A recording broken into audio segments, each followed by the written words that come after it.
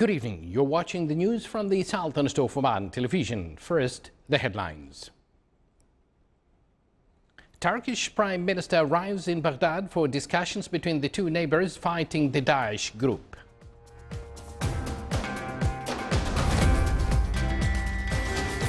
Dozens of people are killed as the fighting continues near the Syrian capital city of Damascus.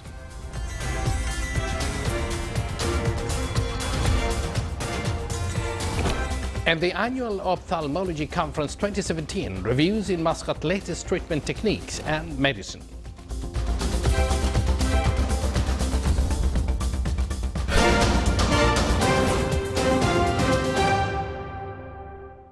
Live from the news center of the Sultanate of Oman television, here we present to you the details of this news bulletin. At least nine people were killed in fighting near the Syrian capital Damascus overnight despite a fragile nationwide truce. The Syrian Observatory for Human Rights said fighting was continuing today in Wadi Barada, a rebel-held district northwest of Damascus that is home to the capital's main water source. A huge tanker truck bomb killed at least 43 people and wounded dozens more today in the Syrian rebel-held town of Azaz near the Turkish border. The blast ripped through a market area in front of a local court authorities. The observatory said six rebel fighters were among the dead, but most of those killed were believed to be civilian. Some bodies were completely burned in the blast. Turkish uh, Prime Minister Binali Yildirim arrived in Baghdad today for a two-day visit. It is the first visit since the two governments uh, quarreled over the presence of an unauthorized uh, Turkish troops in northern Iraq, straining relations between the two neighbors fighting the Daesh group. Yildirim was received by Haider al-Abadi at the Iraqi Prime Minister's office. The presence of some 500 Turkish uh, troops in the Bashiqa region northeast of the Daesh-held city of Mosul has stirred tensions with Baghdad since late last year. Iraq has demanded their withdrawal, saying they are there without uh, permission and are in a blatant violation of Iraqi sovereignty. Turkey said the troops were invited by local Iraqi authorities and has ignored the calls. Yildirim is also expected to visit Erbil or northern Iraq tomorrow. Japan and France will deepen their military and safety cooperation according to a joint statement issued after a 2 plus 2 meeting between their defense and foreign ministers in Paris. This is the third meeting of the kind and French Foreign Minister Jean-Marc Ayrault, Defense Minister Jean-Yves Le Drian and Japanese Foreign Minister Fumio Kishida, Defense Minister Tomomi Inada attended the meeting. The two sides agreed to carry out military cooperation and enhance communications on defense technology, such as developing military-industrial projects together. They also confirmed their intentions uh, for furthering joint research into undersea drones. Le Drian said that they will further collaborate on their military exercises and the United Nations peacekeeping operations. They also expressed their willingness to develop the third-party market in Africa and welcome the enhanced cooperative uh, training and exercise between NATO and Japan in marine and network security. Florida's uh, Fort Lauderdale International Airport was opened again today after a shooting rampage by an Iraq war veteran that killed five people, wounded eight and sent thousands scrambling for safety. Police identified the suspect as 26-year-old Esteban Santiago, who was in custody and being questioned by the FBI over the shooting that shut down the airport, a major gateway to the Caribbean and Latin America. Santiago, who earlier complained that the CIA was forcing him to watch Daesh group videos, allegedly opened fire randomly with a semi-automatic handgun in the baggage claim area of Terminal 2. Santiago had traveled from Alaska to Fort Lauderdale with a stopover in Minneapolis, Minnesota. Santiago, who was born in New Jersey and raised in Puerto Rico, is a former member of the Puerto Rico and Alaska National Guard. He served in Iraq from April 2010 to February 2011 and ended his service in August. Heavy rains continued to hammer Thailand's flood ravaged south today, bringing the death toll up to 12 and leaving thousands of villages partially submerged. The flooding, which was roof high in some areas, has affected more than 700,000 people since it started a week ago. In hard-hit Nakhon Si Thammarat province, uh, two army helicopters were deployed to airlift food to families trapped inside their homes. The deluge has already disrupted beach holidays in several travelers' hotspots, including the popular islands of Samui and Phangan. Hundreds of tourists have had their flights delayed, while train and bus services on the mainland have also been suspended.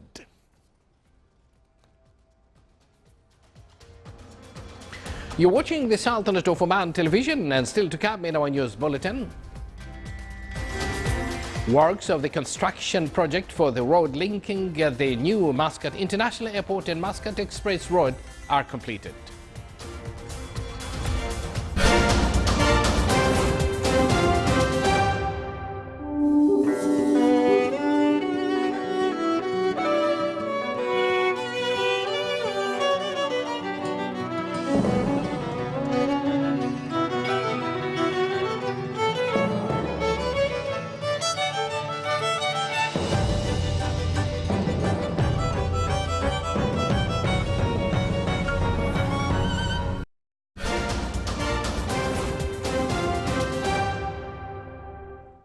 Welcome back uh, to the news from the Sultanate of Oman television. The annual ophthalmology conference held for two days under the auspices of His Excellency Dr. Ahmed bin Mohammed Al Saidi, Minister of Health, concluded in Muscat. I was present at the event and here is the report. The ophthalmology conference organized by the Oman Ophthalmic Society in collaboration with the Ministry of Health, Armed Forces, Medical Services, Oman Medical Specialties Board and the Sultan Qaboos University concluded its sessions today. The conference, uh, which uh, focused on specific eye diseases, starting from the diagnosis methods to reviewing the latest treatments, techniques and medicine. It witnessed uh, the presence of large uh, local and regional and international participation of more than 350 staff of different different eye specialties, including ophthalmologists, optometrists, uh, paramedical staff, uh, nurses, and others. Uh, the conference uh, since yesterday and we have covered many topics in the retina and cornea, especially in the cornea. We have covered the cornea transplant in different uh, in different ways, different the modern, especially in updates, and, and also we covered the refractive surgery, which is new in the fields, and there's a new procedure we, we have uh, covered from different directions. Two of my colleagues have presented in the uh, uh conference. Uh, Dr. Haytham presented about the uh, keratoconus in AFH, and Dr. Abdurrahman presented about the epidemiology and pathophysiology of keratoconus in Oman. The conference introduced the participants uh, to the latest developments regarding the diagnosis, detection and treatment of cornea diseases at early stage. It provided a platform for sharing experiences with the local and international participants and addressed the new surgical technologies in the diagnosis and treatment of cornea and other eye diseases. The conference included several sessions and symposia that highlighted the keratoconus, anatomy and physiology, cornea, imaging and surgical management of disease. Scientific papers also address uh, keratoconus uh, in children and glaucoma. So my name is Wolfgang Mayer. I'm from Germany. I'm working in the University Eye Hospital in Munich. I'm the leader of the refractive and cornea unit there. Um, it's my first time that I joined the Oman International Congress of Ophthalmology. Uh, the topic today in 2016 2017 are now uh, the corneal approaches in the future. So I'm really impressed about the uh, ophthalmic services in Oman because it's a free system. Everyone can uh, go to a hospital uh, uh, for care, caring of individual diseases. Furthermore, the conference sessions uh, overviewed vitreoretinal diseases and highlighted updates of the disease.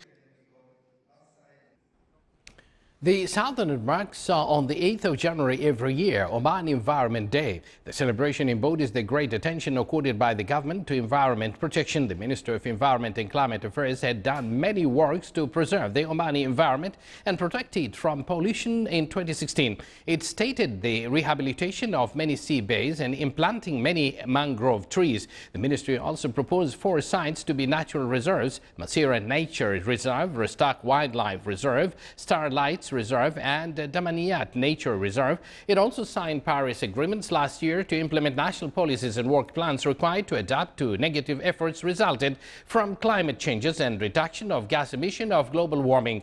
The Sultanate also succeeded in the implementation of the first phase of Vienna Agreement for ozone layer protection. The ministry's celebrations of Oman Environment Day will continue till the end of the current month through intensifying beach and natural reserves cleaning campaigns and planting some wild plants.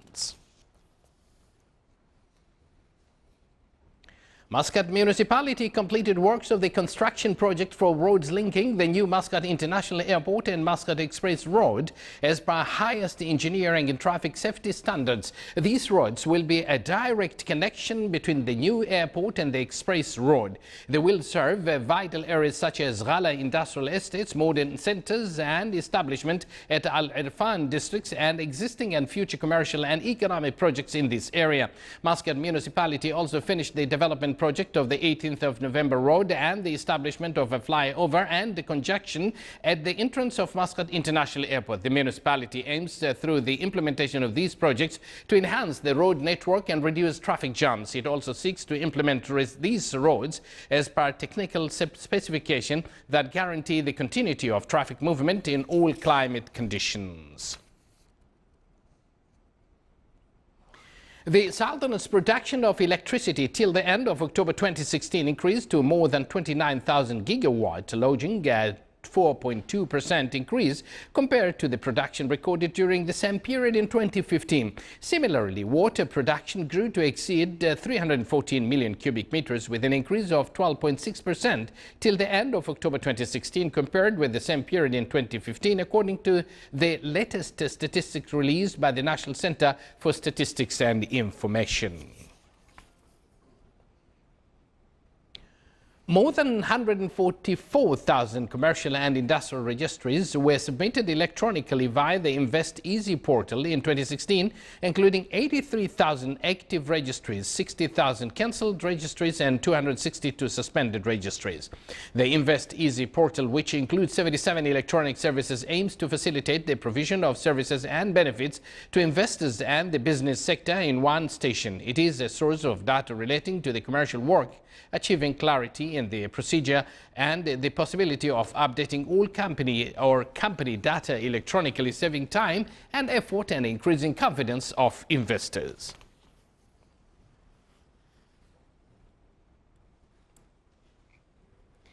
The value trading at Muscat Securities Market MSM in 2016 stood at more than 958 million Omani Riyals after a year which was characterized by share and oil price uh, fluctuation. The complications of the oil price slump has affected the Omani national economy as well as other economies of the region. There has been concerns among stock investors that the financial results of the companies may be affected by the oil price drop and public expenditure cut. Many investors thus reduced used their stock investments as well as the cash liquidity availed for stock investments. The value of uh, trading has been going backward for the third successive year as it declined by 31% compared to 2015. MSM index went upward in 2016 by 7% to close at 5,782 points, comprising an increase by 376 points.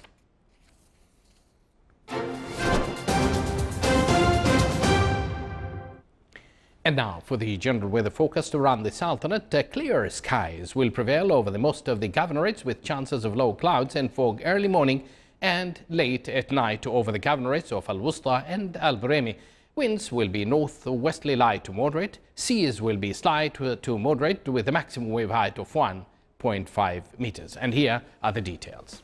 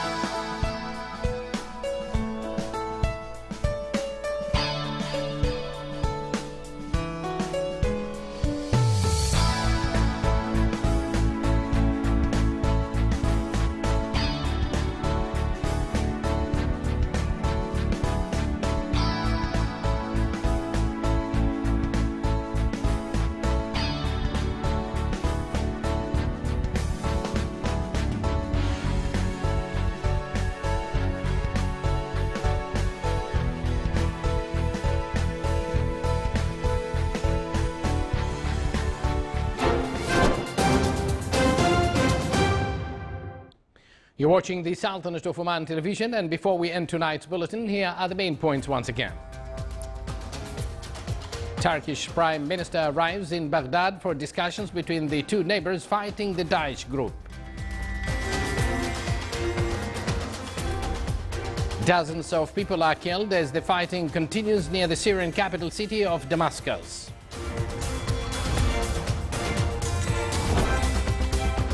And the annual Ophthalmology Conference 2017 reviews in Muscat latest treatment techniques and medicine.